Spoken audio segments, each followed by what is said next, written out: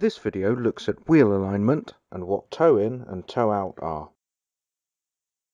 When looking from the top of the vehicle, the wheel alignment, often called tracking, is the relationship between the angles of the steered wheels while at rest.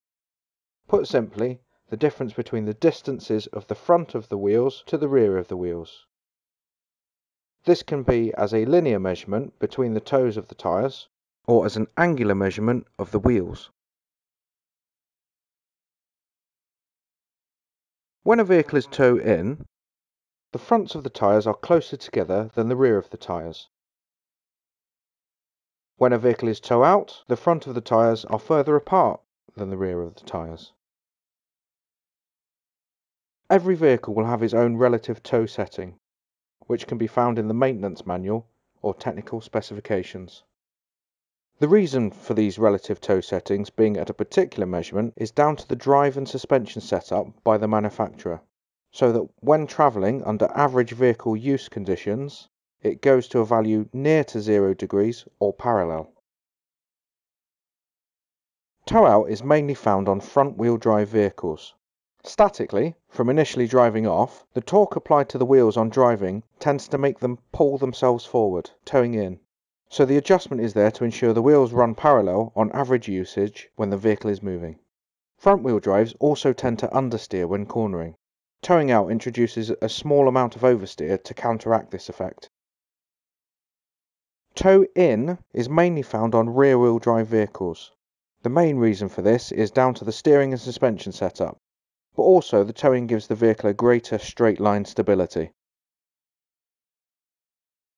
How the relative toe setting is adjusted varies between vehicles and is dependent on steering setup. For example, on a vehicle with a single track rod, such as off-road and commercial vehicles, opposite threads are fitted at each end of the rod. Turning one way will shorten the rod, toeing out the wheels, and turning the other way will lengthen the rod, toeing in the wheels. On rack and pinion type steering, as fitted to most modern cars, the steering needs to remain central and adjustments need to be made equally to each track rod end.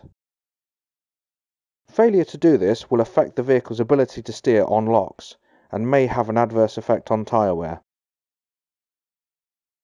It is also worth noting that some vehicles have track rods or steering racks in the front of the axle, so the adjustment will be reversed.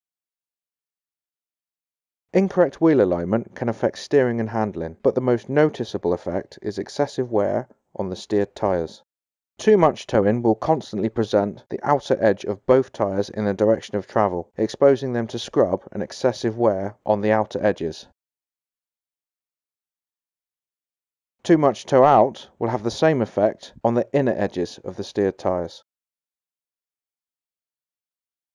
Wheel alignment can be affected by many things, including worn steering and suspension ball joints and bushes, curbing, and other road condition related damage. When track rod end ball joints are replaced, the wheel alignment must be checked and adjusted if necessary.